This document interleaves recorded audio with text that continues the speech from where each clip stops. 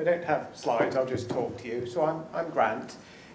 Open Door is the university's central well-being. In other places that would be a counselling service. If you've been at York already, you might have heard of us, but lots of universities have a, a similar thing. However, if you've come from a very different system, that mightn't be something your university doesn't do. It is something we do here. So there's quite a lot of support available. And when I say support, basically you're busy doing a complicated new thing, possibly in a new city, possibly in a new country, possibly in a new language, and life happens. And we're very aware that life continues to happen while you are students, whatever that is. And we're here to be helpful. So we're here as people to talk stuff through with. We have practitioners like me. We're all mental health trained in various ways. And we also have, um, apart from in the medical school, which is slightly different, we have wellbeing officers.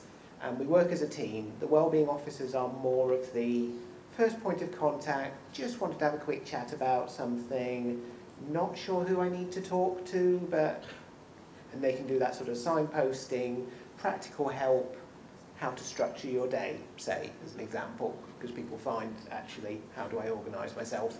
Um, and then we work through, say, with the Open Door practitioners.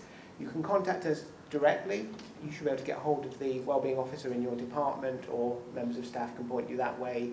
We've got a website for Open Door. You can fill in a fairly simple form that says what's going on at the moment. Um, we'll contact you within a day or so. If it looks like it's super urgent, we can usually do the same day um, during the working week. And you should be able to see someone within a couple of weeks, usually quicker.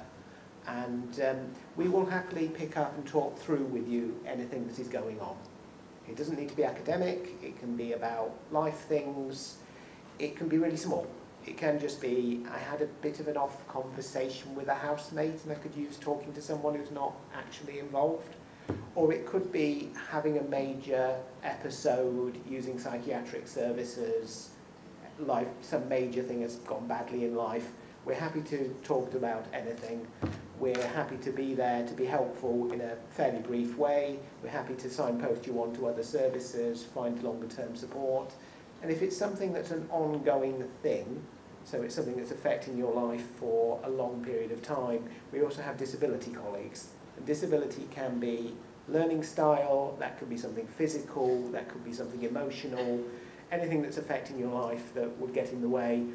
Our disability colleagues can help find specialist support, possibly find uh, funding if that's possible, and also work with student support plans, which are an agreement with the department of when this sort of thing happens, I might need this, that's all set up for you.